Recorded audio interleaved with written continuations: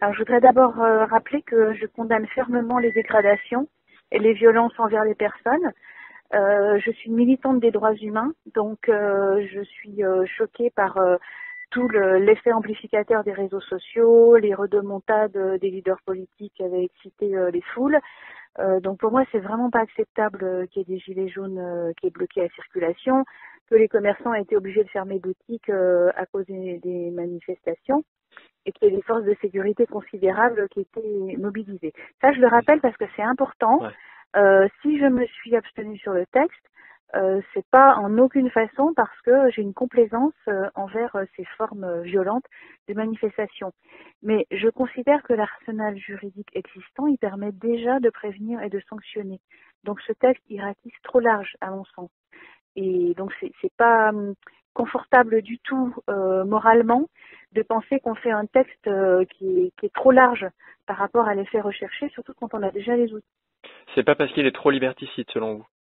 Alors il y a aussi le fait que l'article 2, euh, je trouve qu'il ouvre une porte dangereuse. L'interdiction administrative de manifester, c'est quelque chose de risqué.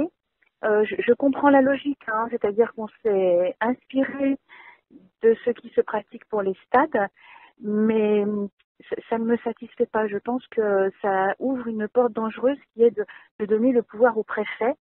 Et euh, on ne sait pas ce qui peut être fait de, ces lois euh, par euh, des personnes qui ne sont pas forcément bien intentionnées.